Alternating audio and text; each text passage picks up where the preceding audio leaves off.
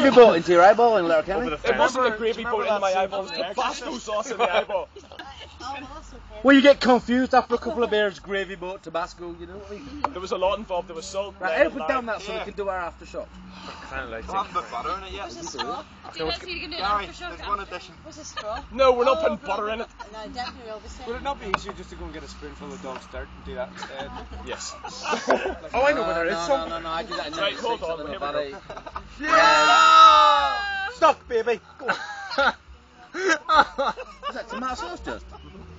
No, it's a Don't spit now. bit of um, very